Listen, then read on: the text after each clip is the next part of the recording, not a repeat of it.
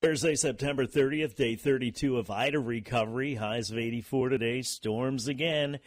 Maybe drying out tomorrow, but some more rain during the weekend. Knocking on the door of October, and Medicare's annual enrollment period starts in just two weeks on October 15th. So, what does this mean for you? If you have Medicare, it's a time to review your current coverage and decide if you want to make any changes for 2022. There's a lot to consider, and Nick Karl from People's Health joins us today to discuss eight important things that you need to know about Medicare. And these eight things will help you better understand the benefits that are available to you, whether you're already enrolled in Medicare or will be eligible soon. Hey, Nick, how are you?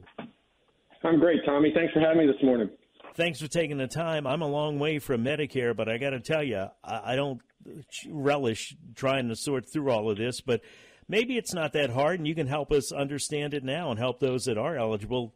The four parts of Medicare, I guess, would be a good place to start. What are they? Yeah, so you're right. Medicare can be very confusing, and it's a subject that people don't really pay attention to until it's upon them, right? So there are there are four parts to Medicare. Really, we call them the ABCs of Medicare. So Part A covers your inpatient hospital care. Part B covers your medical insurance for things like doctor's visits, those types of things, outpatient setting. And then Part C is Medicare Advantage plans, where those are private insurance companies like People's Health that contract with Medicare and offer people their Medicare benefits. And then Part D is for your prescription drug coverage. To get your Part D, you've got to enroll in a plan.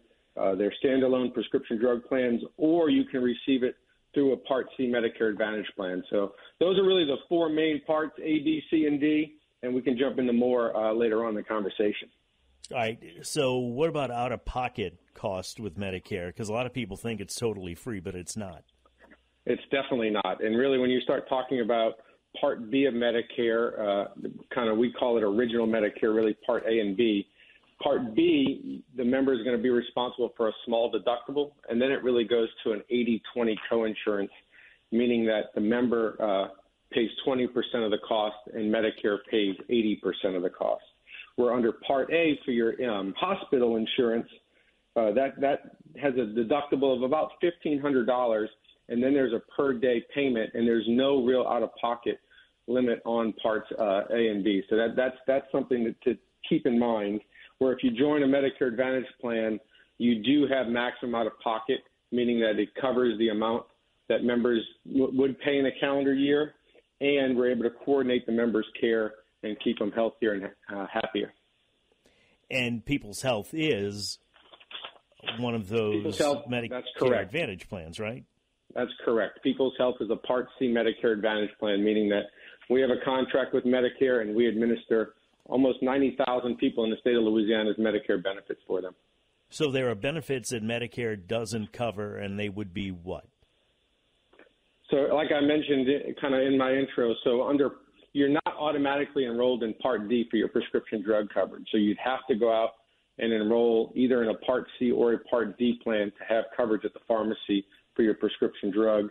And then other examples of that, you know, original Medicare does cover a lot, right? It covers your inpatient and outpatient setting, but it doesn't cover things like dental, vision, fitness center membership, transportation. So there's lots of benefits that you don't get under Medicare A and B that you're eligible for if you enroll in a Part C plan. Um, what about a, little more uh, detail about Medicare Advantage plans? So you have to be enrolled in Medicare A and B to be eligible to enroll in a Part C plan or a Medicare Advantage plan. And when you first join Medicare, um, you can enroll in a Part C plan. You get additional benefits like I discussed earlier. You can get things like dental, vision, and health club. Uh, most plans are zero premium, you know, in the greater New Orleans area, there's many of many plans out there, including really all of the People's Health plans that you do not pay a monthly premium for. Um, we we cover um, the premium for the members, and all they have to do is continue to pay their Part B premium to Medicare to be eligible for the plan. So you can join, be a member of People's Health, and it doesn't cost anything. Is that what you're saying? That's exactly what I'm saying. In fact, we have some plans where we pay a portion of the members' Part B premium for them. So not only does it not cost you anything, we pay a portion of the of your Medicare premium on your behalf, depending on where you live. So, what about lowering Medicare expenses? Yeah, so there, there's there's some options out there for people, especially based on income. Uh, you can apply for state Medicaid, where then if you have both Medicare and Medicaid, you can enroll in a, what we call a dual special needs plan, where really you get all of your uh, Medicare coverage covered for you um, at really almost no expense to the member, along with some additional uh, benefits, like I mentioned, with vision, dental. Even now, there's plans that, including people's health plans, that offer a healthy food benefit. They offer over-the-counter items for their members. So, if somebody's struggling to meet their, you know, with income or, or resources, they can apply for state Medicaid and even get additional resources. So that's that SNP or SNP? I'm a little bit confused. That's correct. That? SNP is a special needs plan, and it's designed for people with a special need. And in this case, a dual special needs plan is for somebody that not only has Medicare, but also has state Medicaid. So, so Medicare is based on age, right? Or right. age or disability, where Medicaid is based on income and resources. So it's for somebody that, that meets the Medicare requirement, but also meets the Medicaid requirement based on income or resources. So, what is extra help from Medicare? So, extra help covers prescription drug coverage, and that's again based on um, income and, and resource limits. And to qualify for extra help, you get help at the pharmacy. So you get help for deduct covering your deductibles, covering your premiums, cover covering a lot of your costs on the uh, prescription drug side of things. Um, go ahead, finish, please.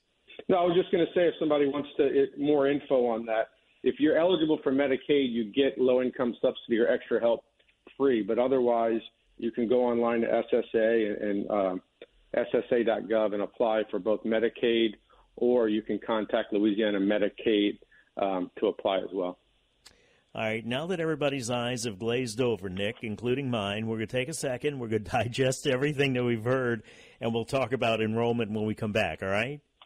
That sounds great, Tommy. Thanks for having me again. You bet. Nick Karl with People's Health is with us. We're trying to navigate Medicare's annual enrollment period. It starts on October 15th. I do know some people that are becoming eligible for it, and they are just overwhelmed with the choices, the information, etc. And we're trying to help you sort that out. It's 820. That's time for traffic now on WWL.